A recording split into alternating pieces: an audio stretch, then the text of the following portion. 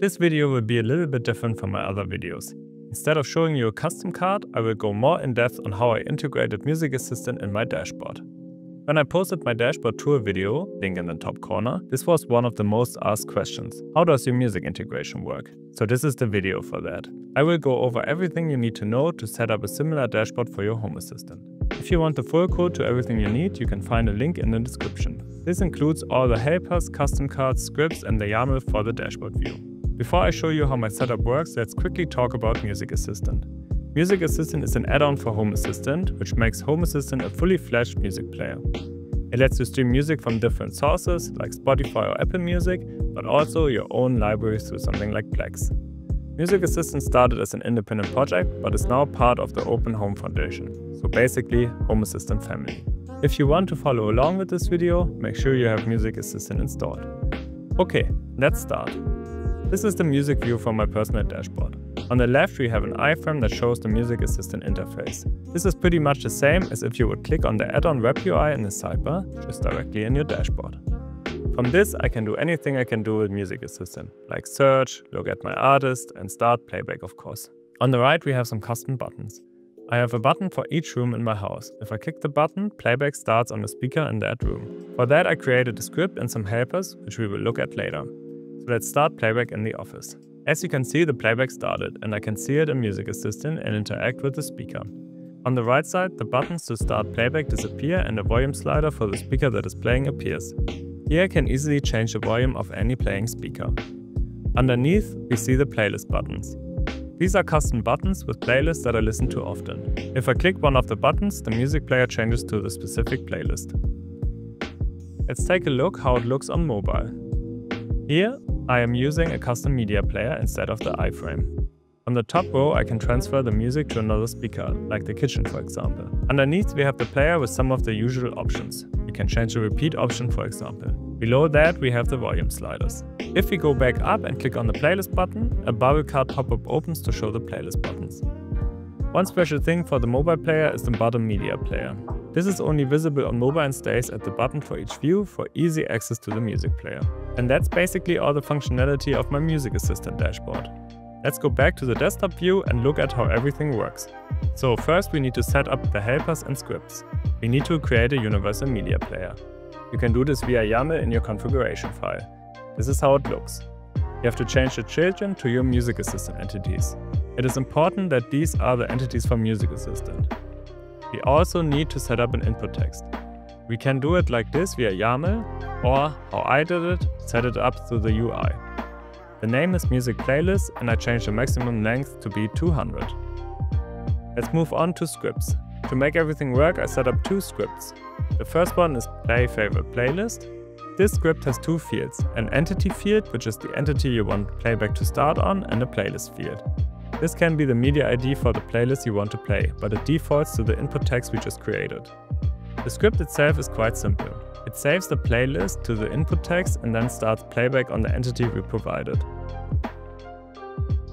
The second script is quite similar, but a little bit different.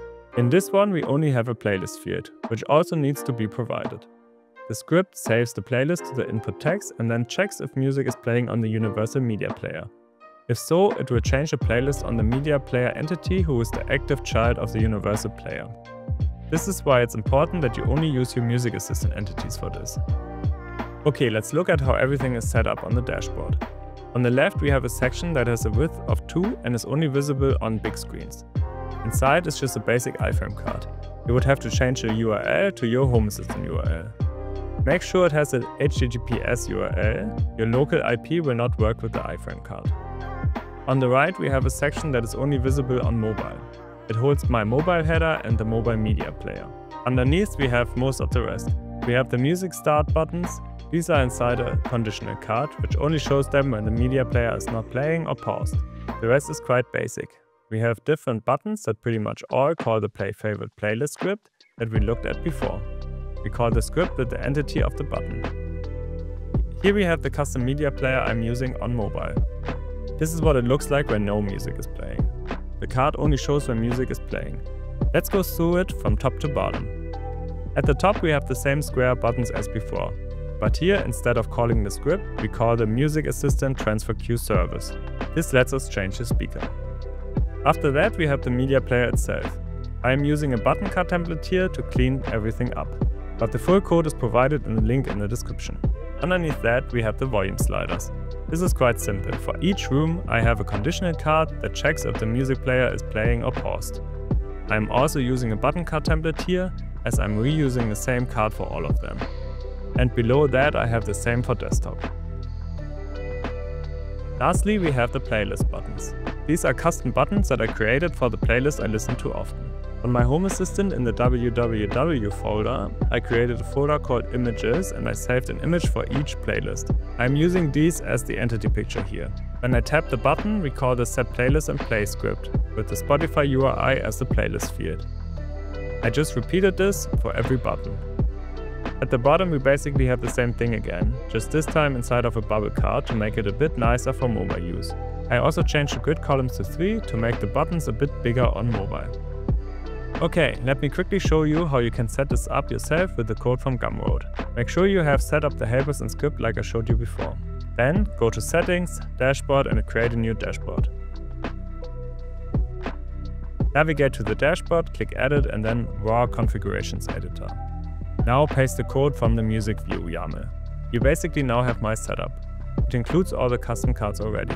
To adapt it to your setup, you need to go through all the cards and change the entities. For the iframe card, you need to change the URL to your Home Assistant URL. And for the buttons, you need to change all the entities.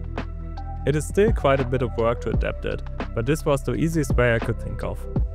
If you have any questions, write them in the comments and I will try to answer them. I hope you liked this video. Let me know what you think about the slightly different format. As I said before, you can find a link to the full code in the description. I just started this YouTube channel, so if you enjoyed the video, I would really appreciate it if you liked the video and subscribe to my channel.